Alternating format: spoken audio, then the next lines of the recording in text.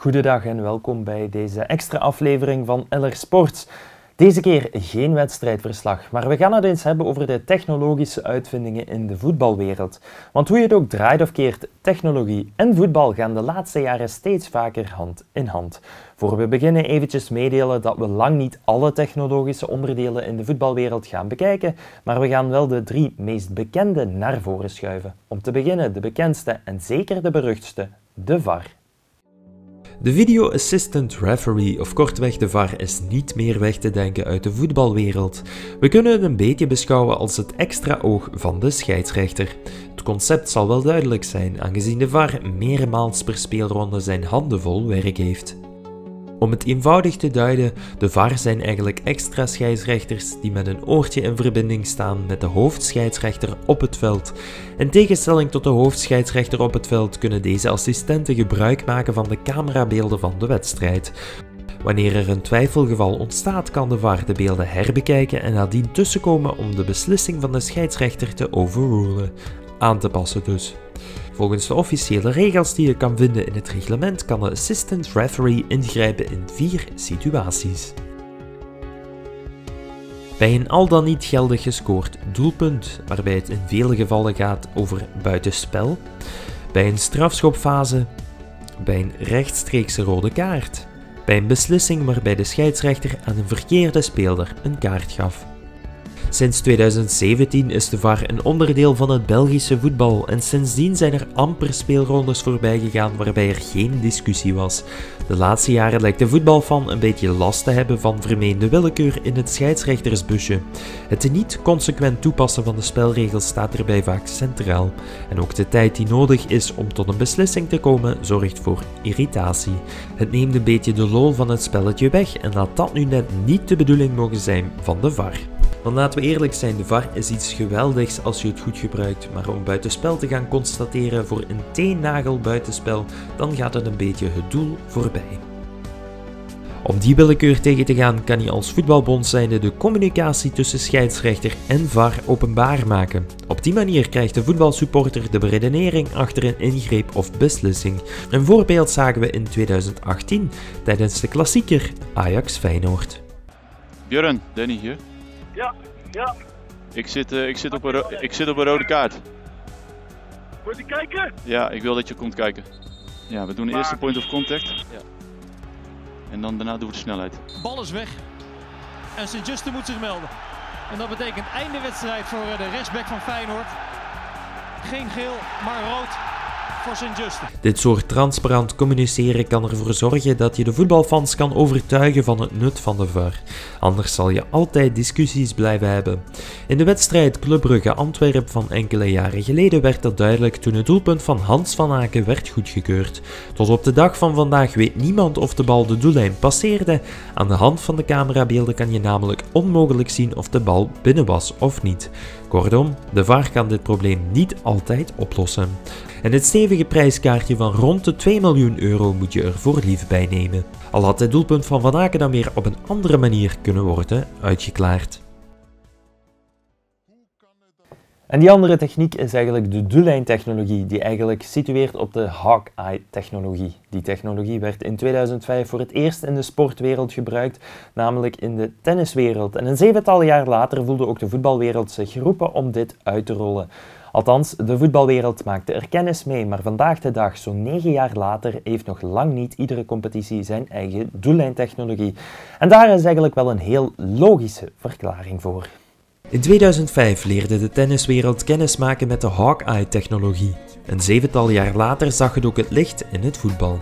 Om het kort uit te leggen, bij de Hawkeye-technologie worden zes of acht verschillende camera's zo ingeschakeld om de exacte locatie van de bal te achterhalen.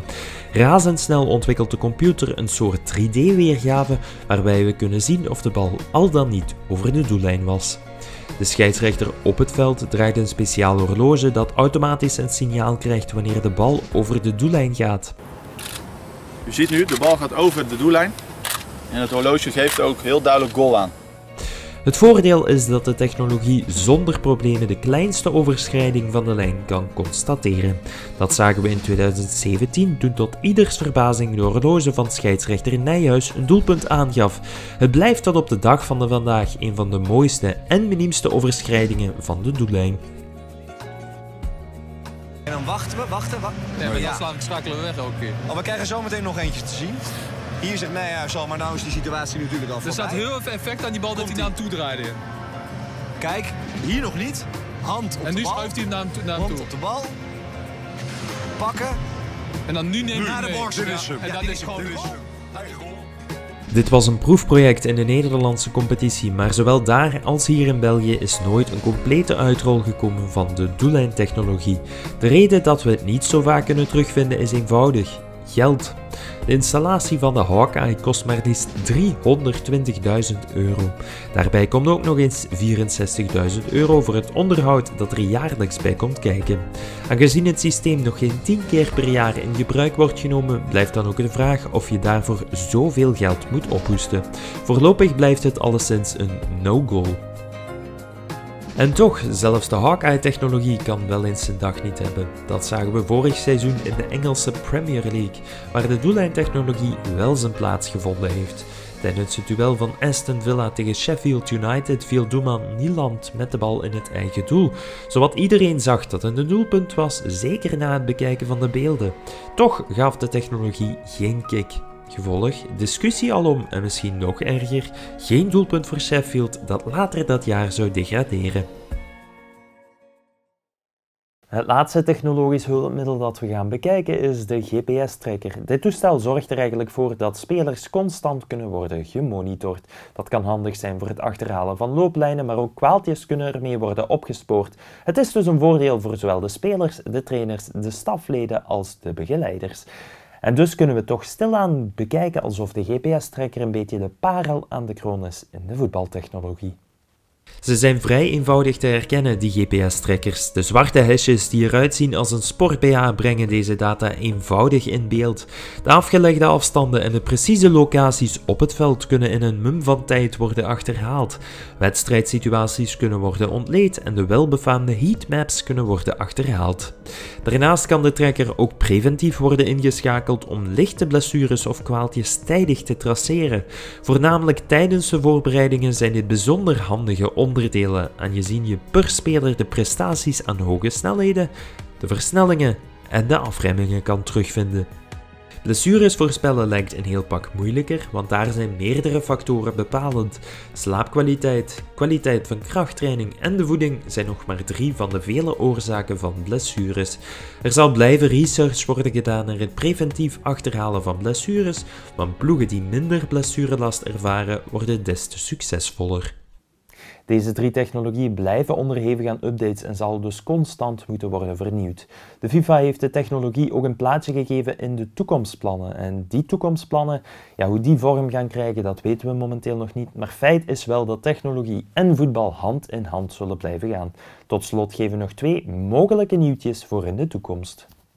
Om te beginnen is er het TraceApp-programma dat in volle ontwikkeling is. De bal zal voorzien worden van AI balltracking, oftewel door middel van kunstmatige intelligentie.